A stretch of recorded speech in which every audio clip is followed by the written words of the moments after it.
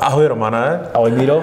Já tě vítám v dalším díle realitního týdnu a zelenomodrého světa. Mým hostem je Roman Záboj a naším tématem je AML a GDPR.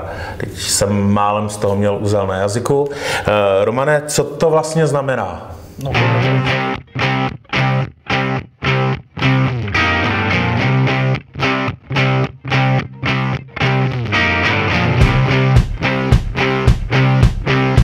kromě toho, že jsou to naprosto nepopulární témata makléřů, což určitě potvrdíš, eh, tak, tak jsou to dvě takové eh, zkratky, se kterými v podstatě každý realitní makléř by měl eh, vejít do styku, ale hlavně z toho vyplývá pro ty samotné realitní kanceláře celá řada nějakých povinností. Takže já bych ti odpověděl, tak Eh, AML je v podstatě jenom nějaká anglická zkratka, ale my se tady budeme bavit o té české verzi, to znamená o zákonu 253 2008 sbírky, který se jmenuje zákon o legalizaci výnosu z trestné činnosti, pak je tam ještě ten terorismus a takové věci, to není podstatný. Eh, v těch eh, oficiálnějších dokumentech Evropské unie a podobných věcí je právě ta zkratka eh, AMLO, což je zkratka toho, eh, toho praní špinavých peněz, ale v angličtině.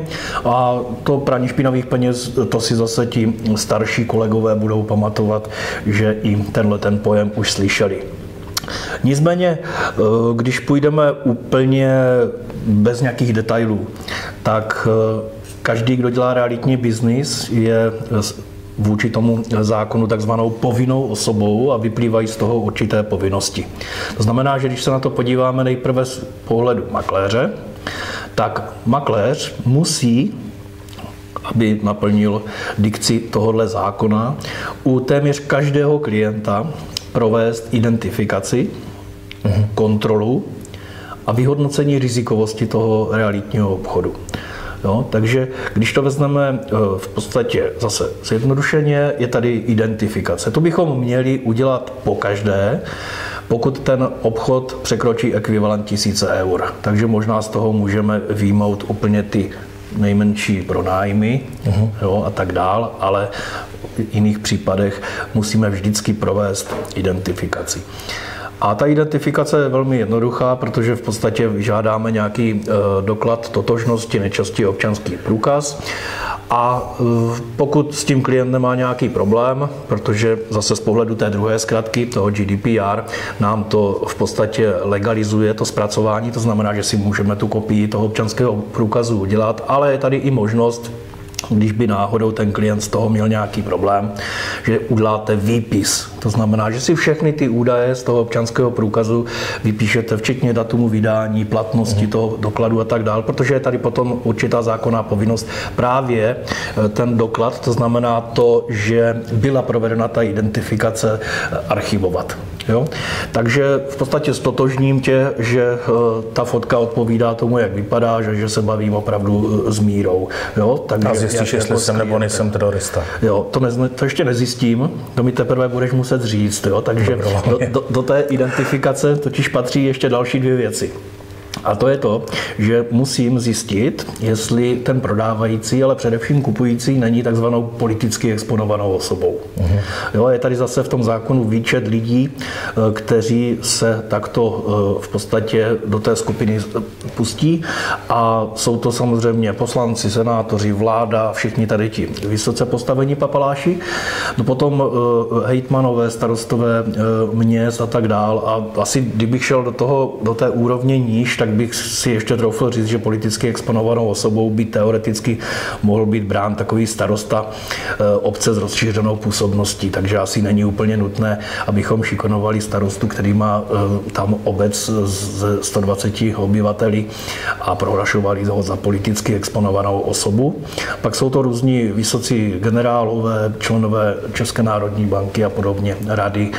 To. Takže u těchto lidí totiž nám ten zákon říká, pozor, eh, tady budeš muset udělat ještě tu kontrolu a budeš ji muset udělat důsledněji. A do té kontroly samozřejmě už potom eh, je to eh, o té záležitosti, že bychom měli si nechat doložit, kde třeba ty peníze na ten nákup té nemovitosti vzal. Ale k tomu se ještě dostaneme. No aby to nebylo úplně jednoduché, tak máme tady identifikaci, průkaz, máme tady PEPu, politicky exponovanou osobu a pak ještě musím právě zjistit, jestli nejseš ten terorista, to znamená, jestli náhodou nevisíš někde na nějakém sankčním seznamu Evropské unie, kde právě tihleti dobráci eh, se samozřejmě objevují. A k tomu jsou potom různé nástroje, některé placené, některé volné, kde se zadá jméno příjmení a datum narození toho člověka a ono ti to vystřelí, jestli je to loupežník či nikoliv. Jo. Ty seznamy se pravidelně aktualizují. Ano, protože se neustále doplňují. Jo, to má na starosti potom v podstatě finanční analytický úřad, což je zároveň i takový dozorový kontrolní orgán. A tomu se potom i hlásí různé průsery, které byste při tom obchodě. Čili to je ta finanční kontrarozvědka. No, jo. Uh, nejenom fyzické osoby, ale jednotlivé státy se zapisují jako uh, země původu toho člověka s nějakým zvýšenou ano. zájmem, aktivitou hmm. a tak dále. Jsi teďka přešel v podstatě do takového toho vyhodnocení nějaké rizikovosti toho obchodu. Ano. takže pojďme to zhrnout. Identifikaci máme hotovou, zjistili jsme, že není žádný problém. E, není politik, není naš sankční seznamu. A teď se musím podívat na ten realitní obchod z takového toho e, většího úhlu. Nebylo tam nějaký divný chování toho klienta? Nechtěl, abych náhodou část těch peněz vyvedl mimo smlouvu, nebo že mi i tu kupní smlouvu v, v, ve výši několika ti milionů eh, chce donést v hotovosti a tak dál. Jo, čili takové nestandardní postupy, které už pro mě mohou být tím, eh, tím signálem, pozor, tady nemusí být úplně všechno v pořádku. A dalším eh, z těch rizikových signálů, že pochází z takzvané rizikové země. A právě ten finanční analytický úřad vydává vždycky dvakrát, třikrát do roka aktualizovaný seznam těch rizikových zemí.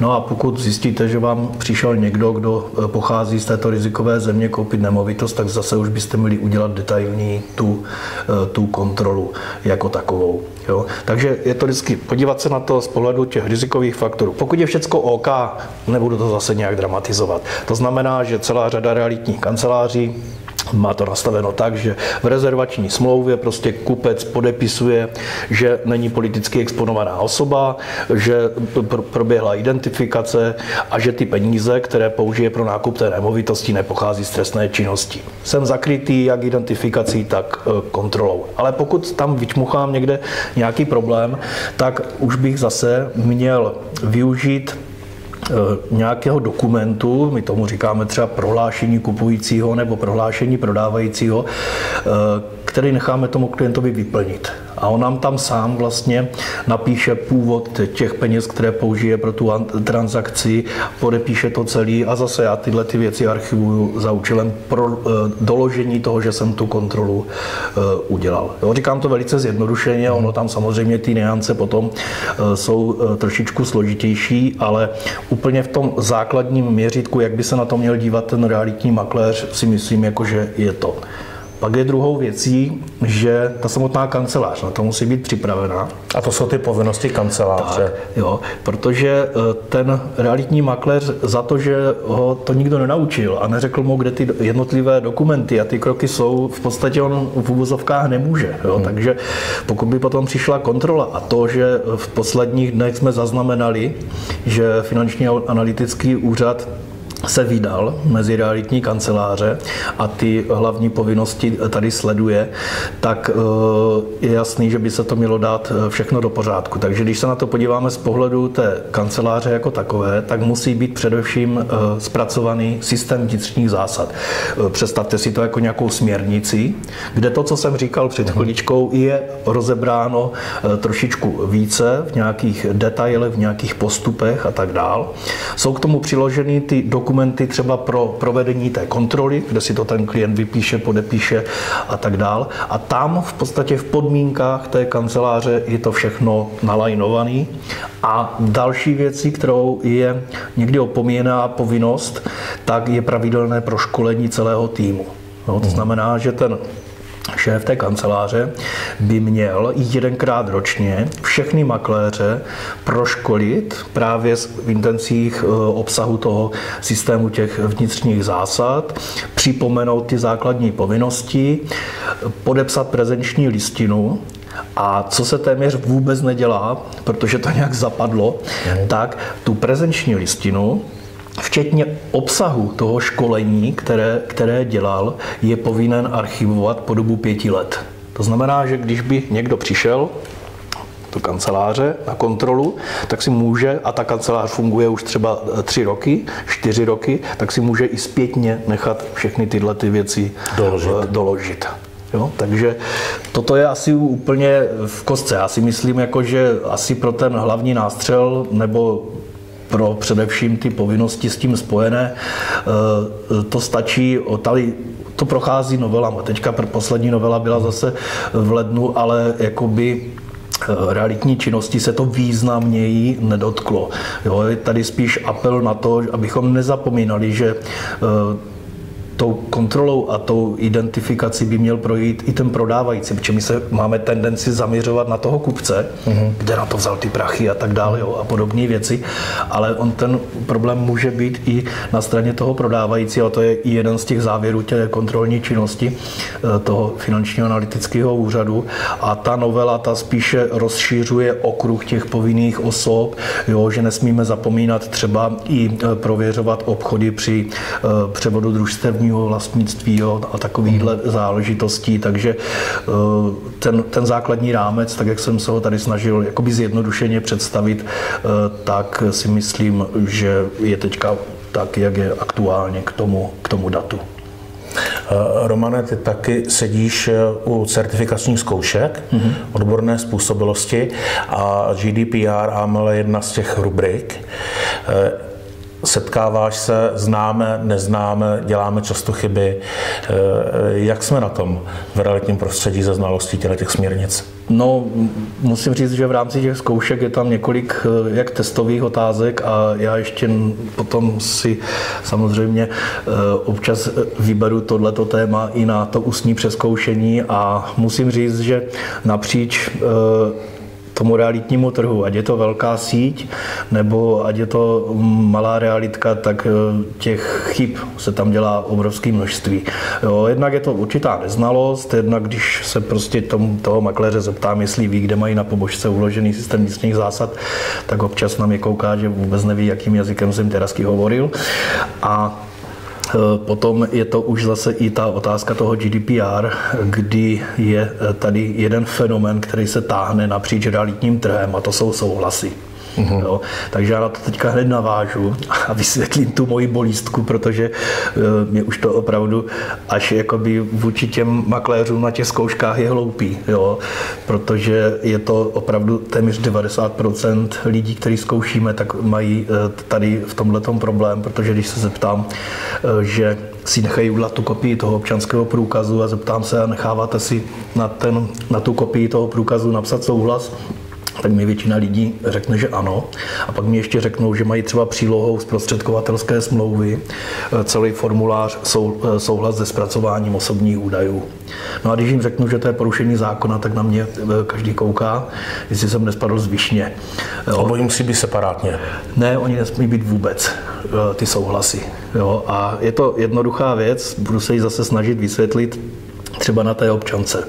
Jo? Protože my jsme si před chvíličkou říkali, že nám zákon, to je ten, eh, to AMOLO, říká, že musíme provést identifikaci a to, že jsme ji provedli, že musíme archivovat. Čili já bych ten tu kopii toho eh, musel po dobu deseti let archivovat, tak jak mi to nařizuje zákon. A teď si představte situaci, že si tam necháte napsat ten souhlas od toho klienta, mm. jo, protože je to taková zažitá eh, chyba ještě z minulosti, když byla ještě 101 a všechny tyhle ty věci.